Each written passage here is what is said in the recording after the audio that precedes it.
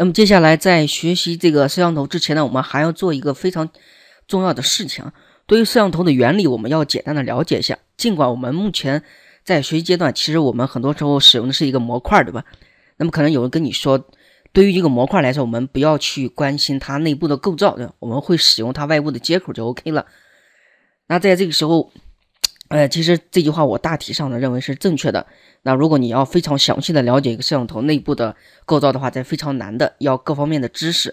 啊，但是在我们整个这个项目过程中呢，还是多多少少用到了一些呃其他的知识。那关于它的一个原理呢，我简单的说一下啊，因为我们会用到它，要不然你用到的时候你会不知道它是什么东西。那对摄像头来说，第一个我们是研究那个颜色空间。我们知道摄像头其实最终呢摆出一个照片是吧？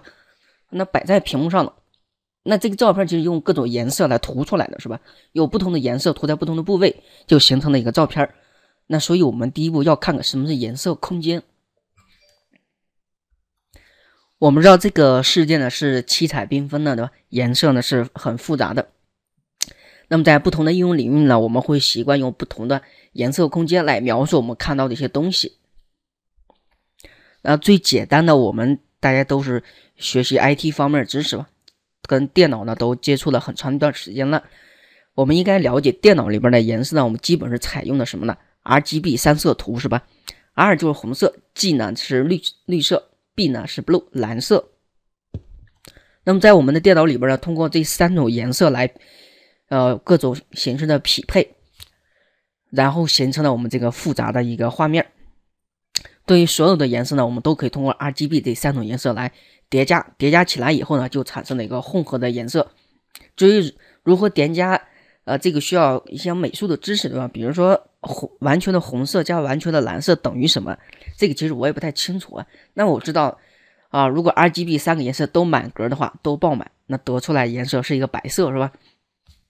如果这三个颜色都没有的话，我们知道这个是黑色。我只认识这两种颜色。那么至于其他的颜色呢，如何叠加，这个需要一定的美术知识，我们就不是深入追究了。总之呢，我们啊，在这个使用过程中呢，这个图片是通过这么一种方式来做出来的啊。那第二个呢，是我们这个 sensor 的感光原理。这个 sensor 呢，就是我们的传感器。那么摄像头是通过外部的传感器感受到了光，然后转换成了我们的电信号，最终形成了我们的图片。那我们来看看这个三色是如何感光的。它是通过一个个的感光点对光进行一个采集采样和量化。那么看到这两个字，大家应该知道采样和量化这是什么过程呢？是一个魔术转换的过程，是吧？那么它将这个信号经过采样转换以后呢，最终变成了一个数字信号。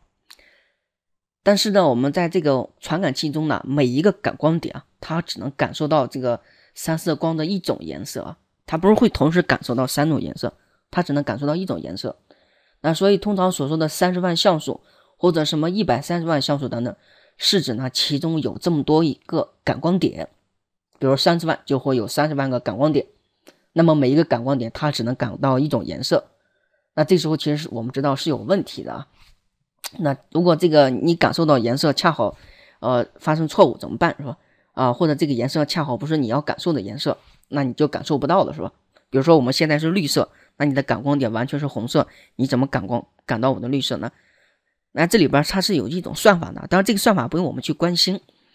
呃，下面给大家简单介绍一个这个算法是怎么做的。比如说我们有一个。感光点感应的颜色呢，它是红色。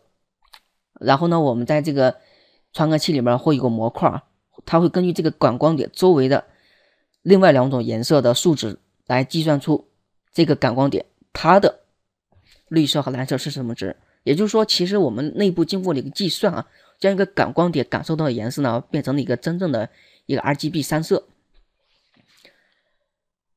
那么，然后呢？经过这种计算以后呢，我们这个值最终呢会传给我们的一个客户端这块儿。当然，这其中的一些编码呃方法还有它的格式呢，啊，你可以不用去关心啊，但你要知道是有这么一种编码格式吧？RGB 是怎么编码的？比如说 R 占哪个颜色啊，G 占哪个颜色？那我们常见的一些编码格式，你比如说有什么 RGB 五呃什么六。六五六什么五五四四等等，那这个这三个数呢，代表这几个颜色分别占多少位啊？这是一个三色的感光原理。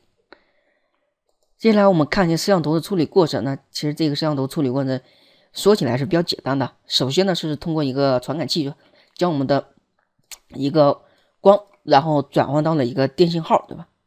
转换到电信号以后，再经过一个魔术转换呢。刚才我们看到这个传感器会有一个采样和量化的过程，经过转换以后变成了一个图像的数字信号。当然，这个数字信号我们知道，由于感光点只能感受。呃，一个颜色对吧？每个点只能感受一个颜色。那为了让我们的颜色感觉到感受到完成完全逼真，是吧？然后经过一个算法，将这个颜色呢，它跟它周围的颜色做一个对比，然后处理出一个真正的颜色。那整个这个处理过程呢，是有个数字信号处理芯片的，我们通常说的 DSP 啊。经过这里边加工处理，那最终会给我们输出啊，那最终会有有一个输出过程。那在我们使用这个摄像头的时候，其实我们其实是关心的这个输出过程啊，它最终给了我们一个什么样的数据？那至于他们中间是怎么处理的，这个啊不是由我们所关心的。